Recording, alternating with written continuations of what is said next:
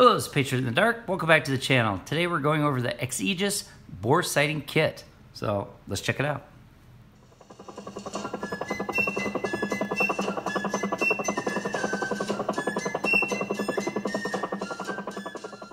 Okay, normally I describe what is on screen, but today it is really crowded.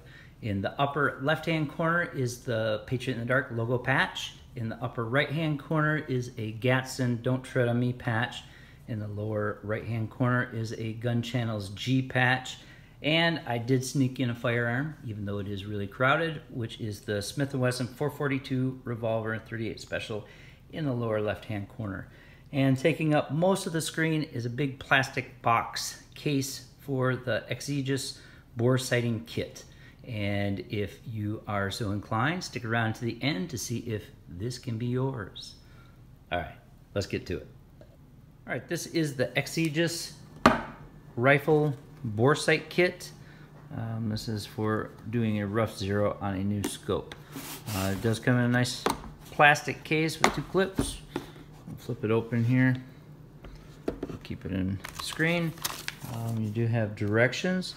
This kit includes 15 all steel arbors ranging from 1.77, which is your 17 HMR, uh, on through to your 50 cal.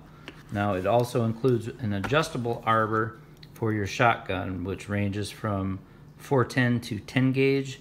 It has a cone in the center, which ends up centering the, the uh, arbor in your shotgun. And then it's just got a thumb thumb nut on the end, which ends up opening the arbor and tightening in the barrel. I actually used this one this morning and it works pretty good. So stick that back in there. Uh, we'll just select one of these arbors. All right, like I said, they are all steel. They have a brass uh, arbor, which is just a spring on the end. Um, on the opposite end, it does have a flat cut, and it's basically a key cut for your aperture. So when we have, let's stick that there, um, your aperture, um, it just basically has an, large lens. Inside the lens, you do, I don't know if you can see that, um, there's a grid. Um, the portions of the grid, each section is about 4 MOA.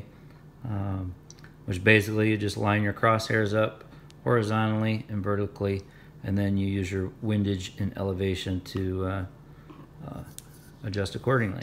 But on the bottom of it, it does have a through hole with a thumb screw, which just locks on your uh, your flats of your arbor.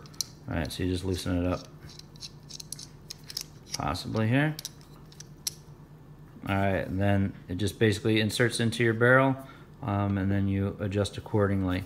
Now, one thing I would suggest with these arbors, since they are steel, uh, I'm just kind of leery of jamming them into your uh, crown or your muzzle. So just verify uh, before you insert them that they are still clear. There's no burrs, they haven't been dropped, there's no dings on it that could damage your crown or your barrel.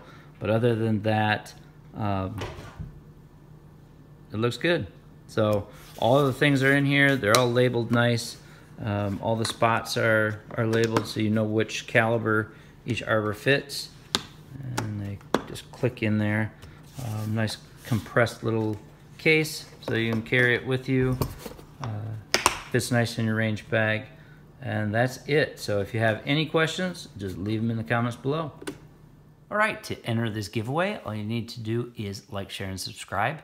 But the main thing is to go to my channel, uh, select videos, and out of all those Patriot in the Dark videos, if you would find your favorite or least hated video, and in the comment section of that video, add hashtag PITD Now, it cannot be in this video. It has to be in a different video, of course. Um, once you're done with that, you are entered. And by the end of August 2019, we will have the giveaway of this bore sighter kit. So I do appreciate you watching. Thank you for sticking around and never fear the dark.